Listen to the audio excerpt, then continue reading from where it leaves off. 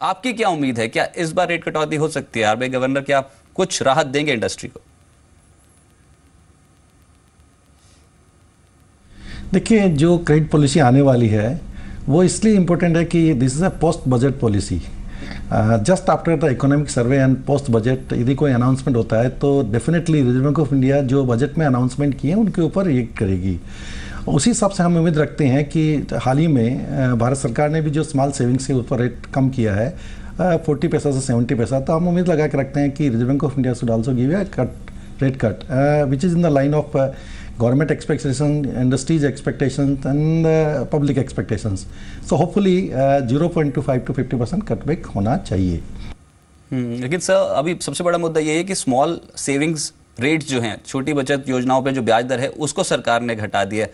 हाल में जो स्टेप लिया गया इसका असर कैसे देखते हैं आप इकोनॉमी पे?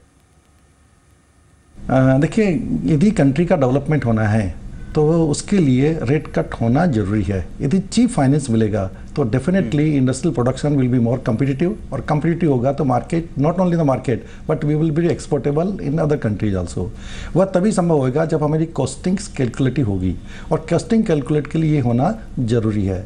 जहाँ तक सेविंग्स की रेट कम करने से जो अफेक्टेड हैं चाहे हमारे सीनियर सिटीजन्स हैं चाहे पेंशनर्स हैं चाहे दूसरे जो भी हैं उनको ज़रूर इसमें नुकसान होने वाला है। पर यदि महँगाई नहीं बढ़ती है और महँगा पे कंट्रोल किया जा सकता है तो उसका इम्पैक्ट नहीं होगा।